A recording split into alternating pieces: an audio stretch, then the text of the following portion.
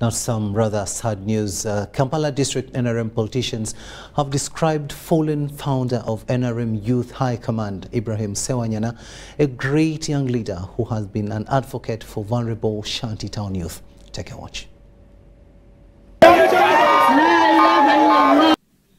Family, friends and NRM party members mourned the demise of the founder of NRM Youth High Command in Mengo Chisenyi 2 Parish, Central Kampala. The deceased, Ibrahim Sewanyana, who was a street child, established the Youth Forum to empower vulnerable street youth living in city slums.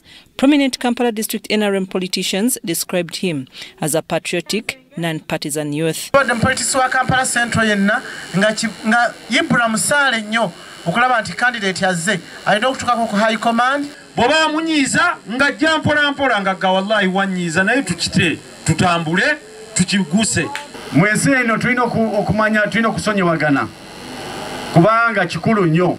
Njagala tufune ekijjukizo kugwe ibra.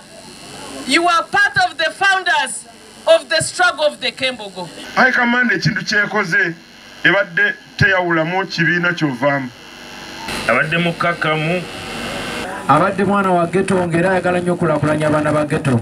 NRM leadership of Mengo Chisenyi 2 Parish and youth leaders urged the youth to emulate Ibrahim Sewanyana vision of uniting and transforming youth living in slums.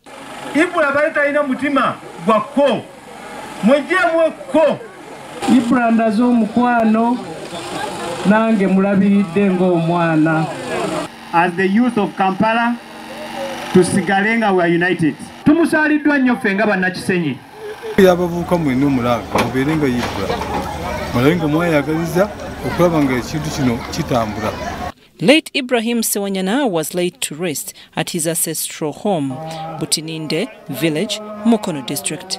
I'm Nafka Farida and Robert Bwaita.